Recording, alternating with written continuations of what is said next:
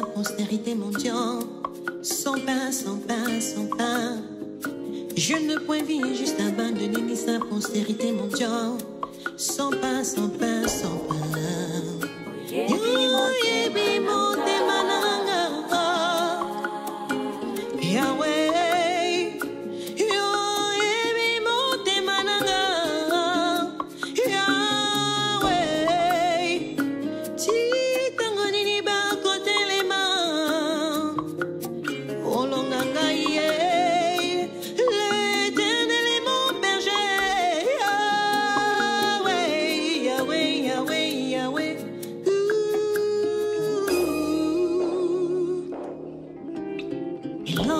pu exploiter les relations, n'a pas pu exploiter la richesse qui était chez le voisin et savoir communiquer ou gérer ses relations. Étant dans la même maison, avec les deux fils qui étaient toujours là, avec le même voisin, le même vase, la même huile, le mari est mort pauvre, laissant comme héritage que des dettes à ses enfants, cependant qu'il pouvait mieux faire. Et c'est dans les mêmes conditions, dans la même maison, avec les mêmes vases, les mêmes fils et les mêmes voisins, cette femme, elle, quand elle a pu gérer et exploiter les relations que Dieu avait mises devant elle, elle a pu résoudre en très peu de temps seulement, n'est-ce pas, le problème qui sont restés comme ça, comme étant un, monument, comme étant une forteresse, comme étant, bien aimé Seigneur, une fondation et tout un mode de vie casse-tête pour son défunt mari. Ce matin, je me dire à quelqu'un, change ta façon de regarder les uns les autres à côté de toi. Change ta façon de considérer les personnes que Dieu a mises à côté de toi. À côté de toi, parmi les amis, parmi les connaissances, parmi les frères, les cousins, cousines et autres, il y a également des richesses. C'est seulement question de savoir les exploiter, savoir les gérer, savoir mettre chaque pion à son poste et tu auras beaucoup plus de résultats. Des résultats escomptés, les résultats les meilleurs. Daigne en ces très peu de temps le Saint-Esprit nous interpeller tous. Que l'Esprit de Dieu nous aide à comprendre que Dieu ne nous a pas envoyés dans ce monde pour souffrir. Très souvent, nous souffrons parce que nous ne savons pas exploiter les relations que Dieu met à côté de nous. Oh, bien-aimé dans le Seigneur, avec de telles réflexions, j'ose croire que ton lendemain ou votre lendemain ne sera pas du tout mauvais, mais ce sera un lendemain fructueux, rempli de bénédictions. Ce ne sera pas un futur plein de stress. Voilà pourquoi je vous prie de vous abonner sur notre chaîne YouTube, Patrick Kalala, pour avoir toujours de temps à autre, n'est-ce pas, ces genres de moments de réflexion et bénéficier de tels conseils de la part de votre humble serviteur, l'homme de la continuité des actes apôtres, en collaboration toujours avec la personne du Saint-Esprit. Ma soeur, mon frère, abonne-toi s'il te plaît. Abonnez-vous, voudrais-je dire, sur la chaîne YouTube Patrick Kalala dès à présent et partagez cette vidéo, partagez cet extrait pour, n'est-ce pas, faire une large diffusion et permettre aux uns et aux autres aussi de se retrouver. N'oubliez pas de faire autant que possible de partage pour l'édification de tous. Que l'Éternel des armées vous bénisse, qui vous bénisse richement. Gardez toujours votre attention et on se retrouve avec vous très prochainement dans un nouveau numéro, toujours sur la chaîne YouTube Patrick Kalala. Que l'Éternel notre Dieu vous bénisse et qui vous bénisse richement. Ne pas dire elles sont très minimes. Que Dieu multiplie encore des hommes de Dieu à l'instar d'Élisée. Et cet homme va s'entretenir avec la femme. Elle lui fait comprendre, premièrement, que la solution à ton problème ne va pas tomber du ciel. Certes, tu pries. Tu viens de me rassurer que ton défunt mari priait et il craignait Dieu. En passant, je dirais à quelqu'un, la crainte de Dieu et le fait de beaucoup prier ne résolvent pas tous les problèmes. Je répète, le fait de beaucoup prier, le fait de craindre Dieu ne va pas résoudre tous les problèmes dans ta vie. Il y a également d'autres paramètres qu'il faut ajouter. Voilà pourquoi à travers cette émission, tant de réflexions. Nous venons nous rapprocher de vous pour communiquer avec vous certaines notions importantes qu'il faut joindre à la crainte des dieux, au fait de beaucoup prier, du fait d'aller à l'église tous les jours, faire des jeûnes et retraites, etc. Il y a également la notion de savoir exploiter les relations. L'homme de Dieu lui dit, qu'as-tu à la maison Lui dit, j'ai un peu, juste un peu de, un peu d'huile. Il dit, oui, sers-toi du peu que tu as. Déjà en passant, j'aimerais dire à quelqu'un, dans la vie, il faut se contenter du peu que tu as et de chercher à l'exploiter, à le mettre en valeur. Cherche des vases et demande à tes enfants de t'accompagner dans l'exercice que je te recommande aujourd'hui. C'est-à-dire, avec tes enfants, remplissez des vases. C'est ainsi que cette femme va, premièrement, mettre en valeur ses deux enfants. Les enfants que Dieu leur avait donnés. Mais laissez-moi vous dire que ces enfants avaient toujours été là, du vivant de leur père. Mais seulement, le papa n'avait pas pu savoir que les relations que j'ai, quelles relations Relations père et fils. Ces enfants ne sont plus des gamins, ce sont plus des bébés, mais ce sont des des gens capables de m'apporter une main-d'œuvre nombreuse pour que nous puissions travailler et exploiter leur talent, exploiter leur force, leur énergie, exploiter leur emploi du temps que nous puissions résoudre les problèmes qui sont les nôtres. La mise en valeur des relations et savoir les exploiter. Tu as des relations avec tes enfants. Tes fils, des fils, on les encadre. Des fils, on les forge. Des fils et des filles, entre parenthèses, quand je parle de fils, c'est-à-dire et des filles également, on le met au travail, on les met en valeur, on les initie, on les pousse au travail. Relation père et fils, c'est pas seulement que les enfants puissent être là comme des, parasites, mais il faut savoir les initier au travail. Et ensemble, vous allez constituer une main-d'œuvre nombreuse et vous aurez beaucoup plus de rendements et de résultats. Le papa s'est épuisé lui-même en sous-estimant les fils que Dieu lui avait déjà donnés comme étant une main-d'œuvre. Voilà qu'à la mort de ce papa, suite au coaching du prophète, cette femme, elle, va prendre conscience. Ce pas des simples personnes qui étaient là pour décorer la maison, mais je pouvais également les exploiter comme étant une main-d'œuvre. Donc là, le prophète est en train de corriger les erreurs du papa, qui est mort, pauvre, laissant des dettes comme héritage à ses fils cependant qu'il pouvait mieux faire si seulement s'il savait exploiter les relations. Donc la première relation, c'était ses propres fils qu'il n'a pas pu gérer, alors que Dieu avait mis une main d'œuvre nombreuse à sa disposition. Des deux, le prophète lui dit maintenant, va maintenant près des voisins et toque à la porte. Pose-leur la question de savoir si ils ont des vases. Et s'ils en ont, qu'ils puissent t'en prêter quelques-uns. Et voilà que la femme est allée chez le voisin. Ceux-ci lui ont donné encore quelques vases qu'elle va encore mettre à la disposition des enfants et ils vont remplir. Donc la deuxième relation, ce n'est pas la relation au niveau familial, mais la relation au niveau de la société, de la communauté où tu vis. Il faut savoir chercher chez le voisin. Qu'est-ce que tu peux puiser des bons? Qu'est-ce que tu puisses trouver des bons là-bas? À exploiter Comment exploiter les voisins? Comment exploiter les amis? Comment exploiter les relations et les connaissances?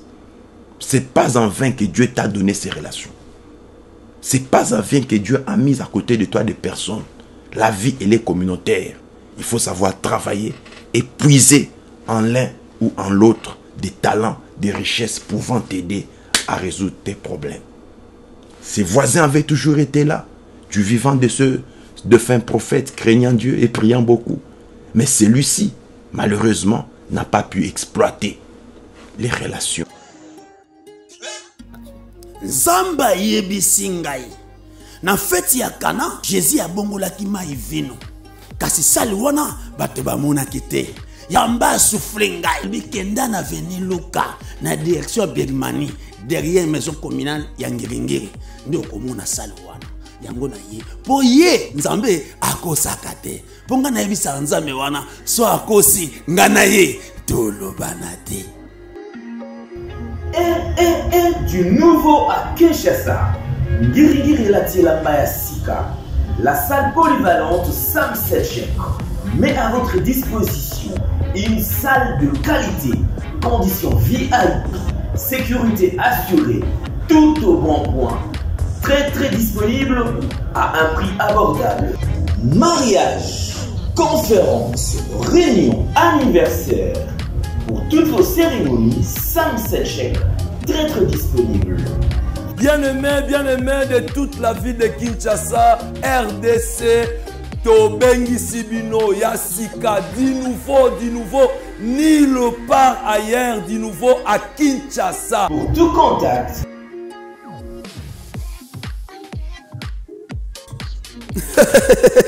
merci merci seigneur merci tala bokeseni ezali entre feti okendaka ya voisin na yo to voisine na yo.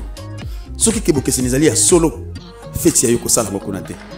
Ya yo yaka nango awa yaka nango awa yaka nango awa merci. Merci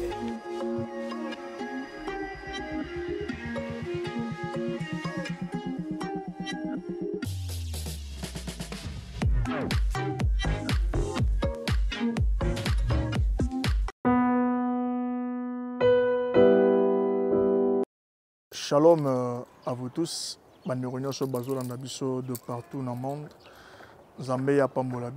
Je suis le prophète henri que plusieurs connaissent aussi. Je suis le prophète henri.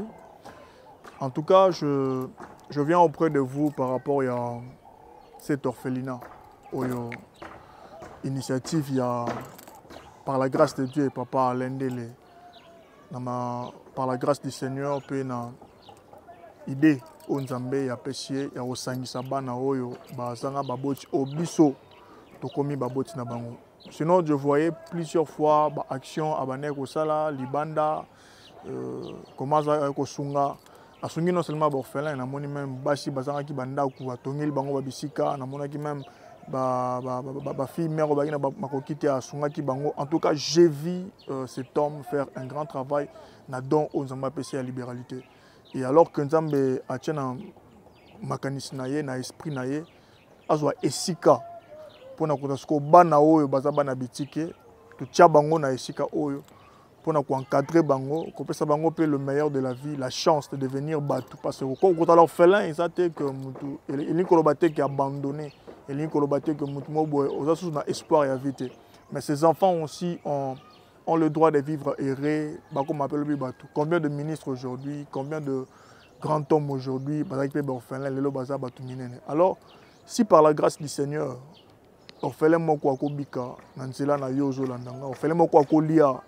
yo si par la grâce du Seigneur euh, même Minerva l'orphelin moko okouta na nzela yo ozolandanga le Seigneur ne manquera pas à te bénir en accord avec Ésaïe chapitre 58 la bible dit soki opesi oyo azangi ya kolia eloko ya kolia soki opesi oyo azangi ya kolata kolata la gloire de l'éternel ekotambola na motu wana et sa guérison germera promptement. C'est-à-dire que sur tout le plan de la vie ya motu wana spirituellement et physiquement nzambe akovisite bato ya ndenge wana c'est pourquoi ntango nayoki ke bazwi esika mpona koatia bana koencadre bango je voulu être la première personne ya koya kobonde d'abord mpona esika wana korecommande yango na maboko nzambe et puis voir ce qu'on peut aussi par rapport à ma capacité Nabiso. Mais si moi, prophète de l'éternel, j'accepte peut-être de soutenir un peu spirituellement et pourquoi pas financièrement, ce n'est pas pour notre avantage, ni avantage à papa Lendele, mais c'est pour l'avantage du royaume. On les beba, bakwa ba kuluna, botala ngona ba formation kuluna boy. Mais si au de les bas âge, bazui formation o to pesa bango na lisunya nzambe kolo yesu masia akozanga te ko kanisela yo par où Dieu est passé mpo bana oyo bazwa formation mpo bana oyo bayoka maloba nzambe mpo bana oyo batanga classe loyi bakóma bato. Dieu se souviendra même de, ton, de, de, de tes enfants. Même na absence na yo ata ozali bolamu osali mwana orphelin nzambe akokanisela bana oyo yo oboti na bitumba na bango na bapasi na bango okorapelaka nzambe. 15 jours nasungaka baorphelin moko songolo. Alors l'éternel souviens-toi de moi. Dieu est un dieu de gratitude il le fera pour vous. Merci beaucoup. Que l'éternel vous bénisse abondamment Bien-aimés dans le Seigneur, nous vous disons shalom, shalom fidèles téléspectateurs de l'émission Temps de réflexion avec l'homme de la continuité. Que l'éternel notre Dieu vous bénisse.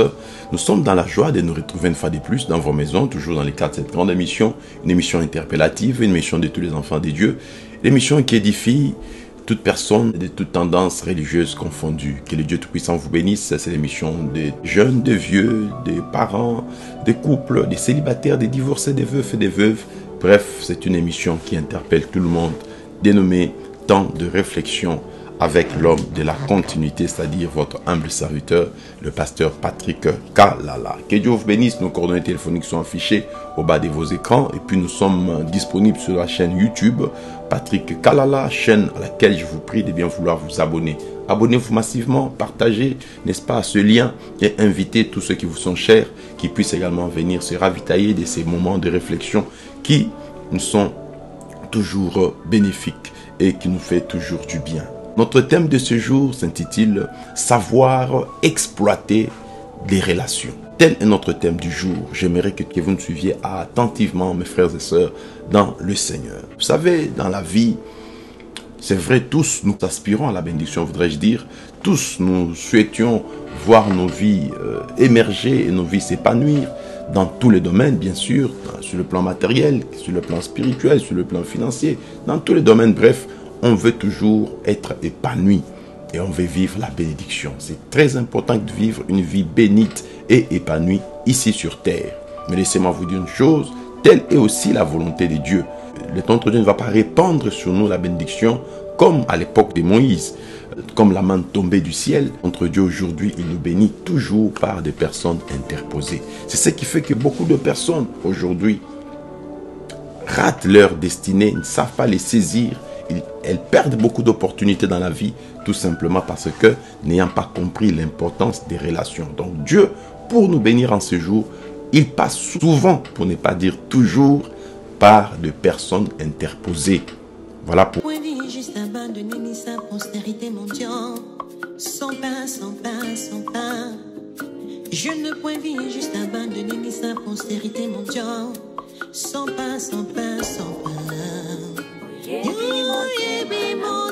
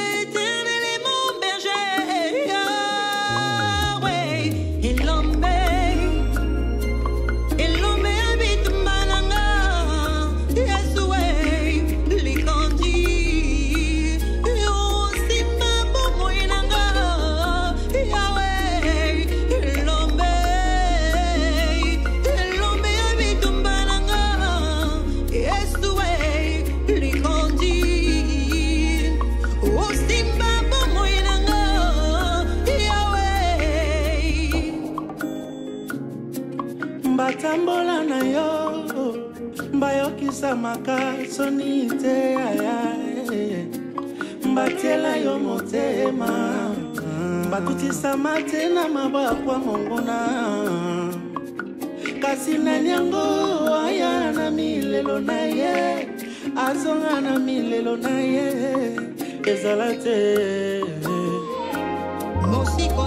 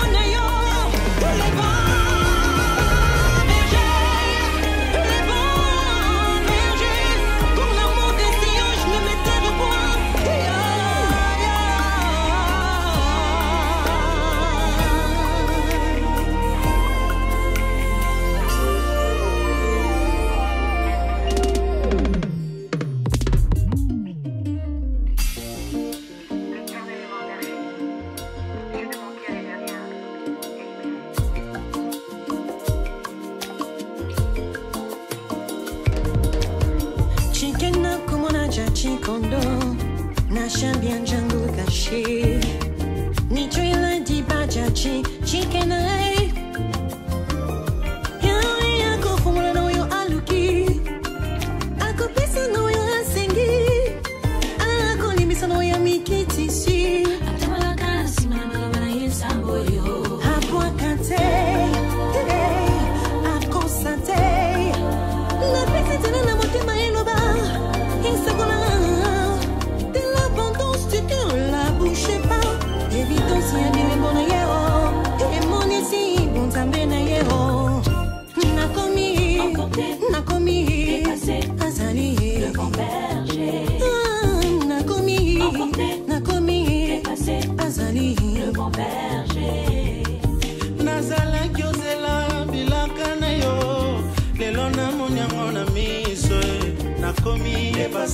nakomi le bon berger